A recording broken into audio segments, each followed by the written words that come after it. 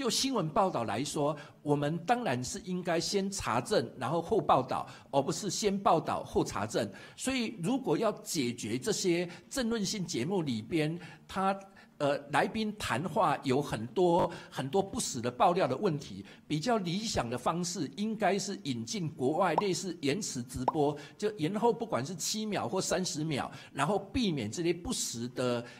不实的消息传出，那这个才是比较正办，或者是必要的时候，如果没有办法控管，必要的时候暂停这些直播性的节目，用别的方式来讨论，来讨论政论，那我觉得这可能才是比较适合的方式。